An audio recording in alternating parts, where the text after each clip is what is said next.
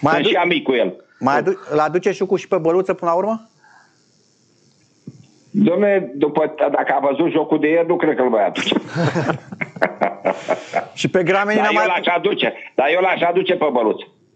Ar fi bun. Asta are nevoie rapidul de u- unul mare în fața fudașilor centrali.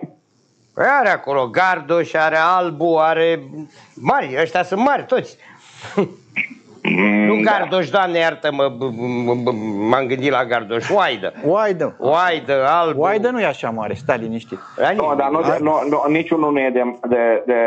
El trebuie să fie un fundaș central m- modern, mă. Care să joace între ei, între cei doi fundași centrali. Mijlocași de pasă lungă, mijlocași care să scoată de la adversar.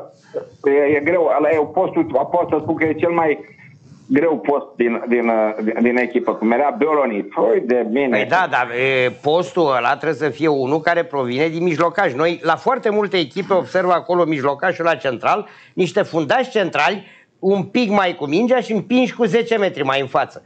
Deci Așa noi, e. noi pierdem un om la construcție ăla. Da, da, deci e, genul ăsta sau joci double six, cum joacă Ciolo Simeone acolo cu doi, sau joci cu unul care, domne, să aibă și o veliditate de creator. Bravo, bravo Aline, bravo, ai făcut o analiză foarte bună, bravo, te felicit. Că De aia e analist la De-aia Fanatic sunt- Superliga, da, da, corect. da, da. Dar dacă l-a văzut, Da, da. dacă l-a văzut Edi Ordănescu pe băluța seară, tot îl va chema la național. Tot, că n-ai. N-ai ce să faci, că n-ai, n-ai, cu cine. ce, n-ai pe cine dracu să N-ai cu cherbă. cine să joci, da, corect, corect. corect.